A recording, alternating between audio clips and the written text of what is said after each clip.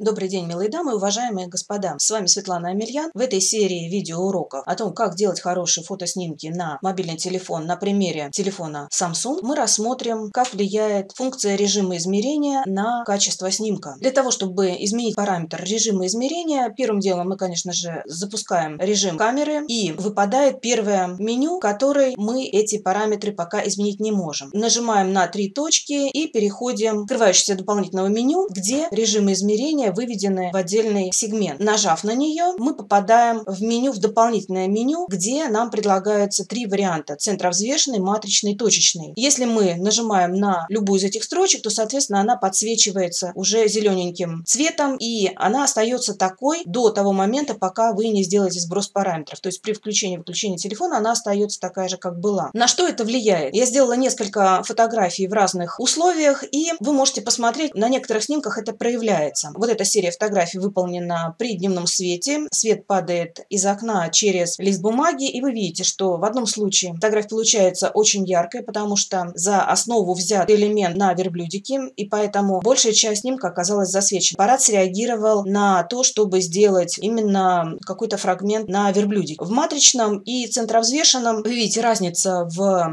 съемке тоже есть. Матричный получился более темным, центровзвешенный чуть-чуть посветлее. Это определяется тем, что даже на меню выбора этого параметра мы видим, как происходит выбор, вот определение параметра освещенности этого снимка. То есть если точечный, он четко выбирает точку в центре изображения. Центровзвешенный – это какой-то алгоритм, который э, делает оценку по своей формуле. И матричный, он четко разбивает рисунок на несколько фрагментов, и в каждом из них он замеряет свою освещенность и под нее предлагает уже настройку параметров для фотоаппарата, для автоматической подстройки под ваше изображение. Поэтому смотрите сами, если у вас есть желание экспериментировать, посмотрите, что получится. Но э, нужно понимать, что, что при установке точечного режима измерения у вас э, вся интенсивность будет замеряться именно в центре диагонали, в центре вашего изображения. То же самое я сделала на примере пейзажа. Так как пейзаж достаточно с яркими э, фрагментами, с очень темными фрагментами, то камера подстроилась и при точечном измерении у нее за основу взят вот этот фрагмент. При матричном и центровзвешенном изображение получилось более темным для того, чтобы все-таки отразить каким-то образом и небо. И в этом случае тоже